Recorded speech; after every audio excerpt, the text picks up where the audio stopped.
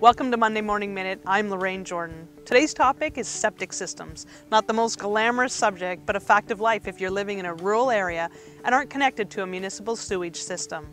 A septic system or septic tank is a watertight compartment made of concrete, fiberglass, PVC, or plastic through which wastewater is directed for primary treatment. After the wastewater has been treated, it flows into a septic drain field, which further filters the water.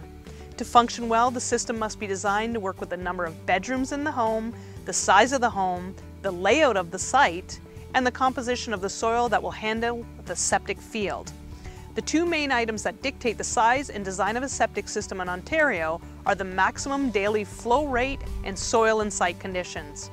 To calculate your daily flow rate, the Ontario Building Code implies that for every bedroom, two people could be living in the home. Average daily use per person is estimated at 275 liters, so the maximum daily flow could be around 550 liters per bedroom. If your home has more than five bedrooms, you will need to consult a professional engineer. In addition to the number of bedrooms, you will need to determine the number of fixtures such as sinks, toilets, showers, bathtubs, and dishwashers. If the total fixture count is greater than 20, then 50 liters per additional unit will need to be added to the bedroom rate. If you're purchasing a vacant rural lot, you will need to have a septic system installed to accommodate the size of house and the bathrooms you are planning to build. As each septic system is different, there is no set price for having a septic system installed, but they typically vary between 6 and $12,000. Soil type, level of underground water, and the size of the home, as well as the type of septic system and engineering costs, all factor in on the total price of your septic system.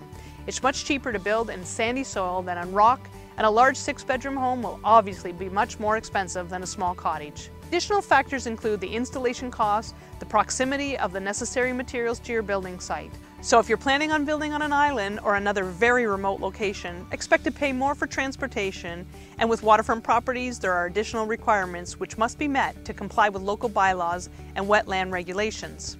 In some parts of Ontario, a qualified engineer and septic system contractor will be required to get the necessary health and sanitary permits, appropriate excavation at the site, and permission or approval from local building or planning officials, and all septic systems must meet the Ontario Building Code. The best way to get an accurate idea of prices is to contact a reputable company for a quote.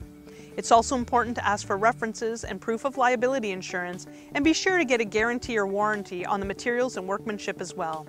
Once your septic system has been installed, it is wise to have it inspected and pumped on a regular basis to ensure a problem-free system that functions efficiently for the long term.